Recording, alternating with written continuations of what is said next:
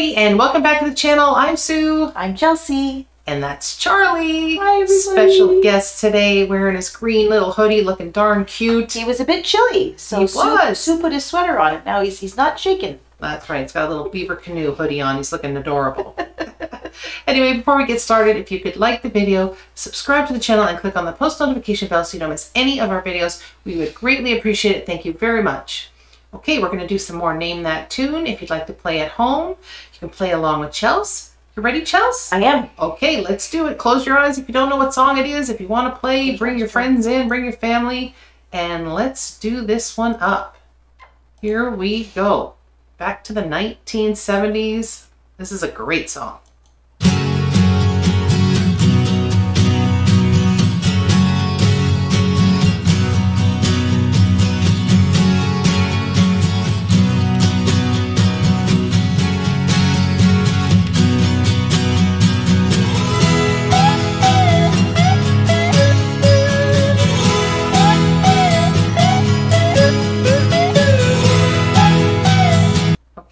What do you think? I you have it? No. It's My Sweet Lord by George Harrison. This is a Hmm. fantastic I song. didn't have that. All right, so we're going to get into it, but before we do, don't forget to stay to the end of the video so that you can hear my fun fact for the day. Here we go.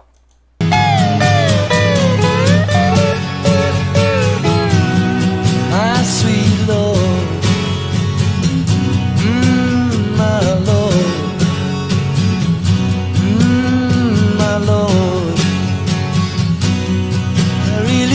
see you,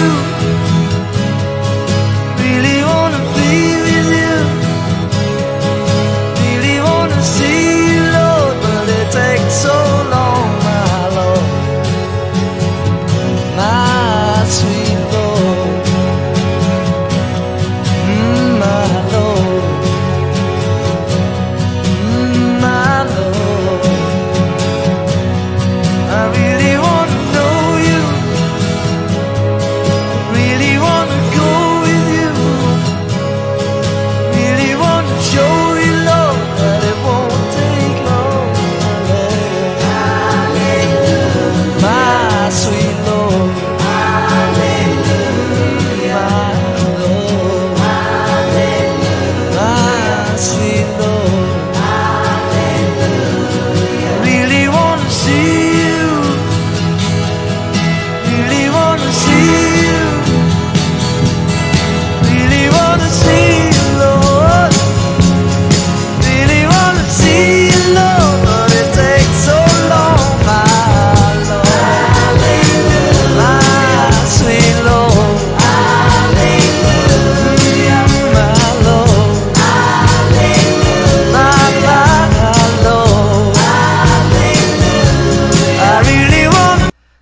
just asking if this was a song that he did on his own or with the Beatles, but yes, this was a song that he did on his own.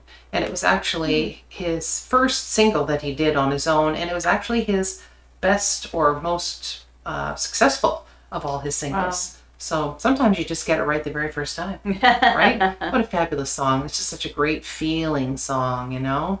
again, again, pretty mellow. Again, mellow, yeah. Got the mellow ones going on today. just feeling it. Feeling the beauty today. to know you. Really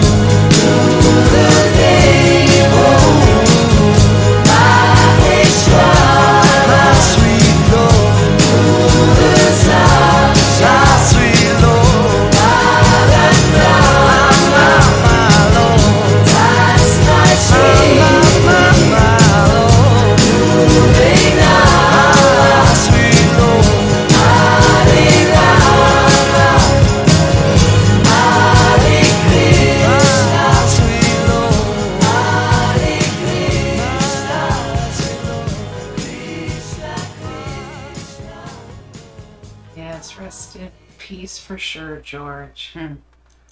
Oh, that was a beautiful song. And uh, if anybody knows what a lot of the words were, what they mean, uh, if you could translate them for us into English, that would be fantastic. Uh, obviously, I don't know.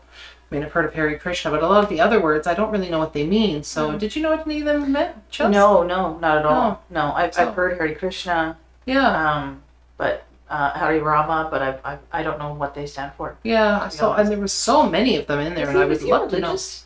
Yeah, he was a very spiritual man, and he was really into a lot of the Eastern um, the Eastern religions. Hmm. But I think he he he sort of was, as a spiritual man. I think the Hare Krishna and the Hallelujah, which is a very Christian kind of thing. Mm-hmm. I think he thought that they kind of were very similar in a lot of ways, and, and kind of could join in. Hmm. You could see them kind of standing together. But I'd like to know what some of those other words meant. So if you know, put them in the comments and let us know, because that would be very interesting to to find out what some of them actually mean. But that was a beautiful song. Mm. If you if you like George Harrison and you want to hear more George Harrison songs, put those in the comments for us, and we would be happy to do more of those. Or maybe the Beatles songs. You want to do more of those? Put those in the comments. We've done a few of those, but it'd be great to do more. So my fun fact is, it's um, the this song actually sparked quite a bit of drama. Uh, he was actually sued by a company, Bright Tunes, that uh, had the rights to uh, "He's So Fine" by the Chiffons, and they were claiming that it was that was basically a ripoff with the music of the song.